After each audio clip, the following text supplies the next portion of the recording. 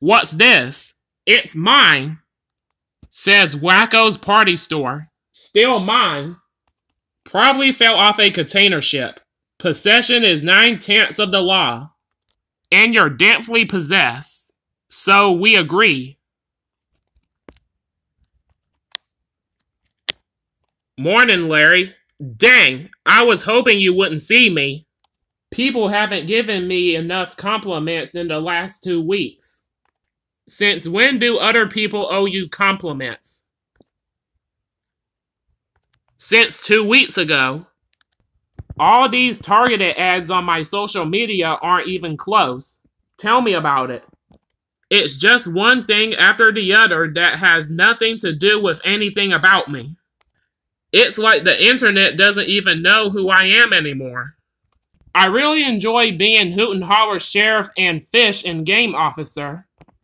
Except on days like this, when I gotta try to be in three places at once. Why do I have to do all the dirty work? Why can't I have a cushy desk job like you?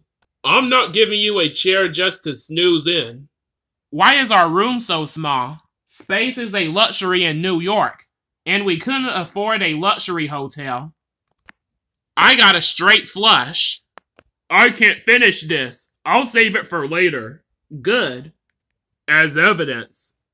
Looking at the record of job interviews, Mr. Capp, I notice you're the only one of our claimants with a 100% record. I'm glad you think my attendance is impressive, lad. 100% failure in getting a job.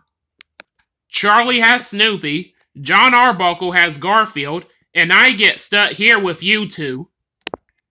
Only four more pages till Christmas. Leeway's job provides us with a lot of Leeway's job provides us with a lot of past due bills. I had a real bad dream last night, but I think some pancakes and bacon will make everything okay. He'll eat a salad if it has chunks of ribeye steak in it.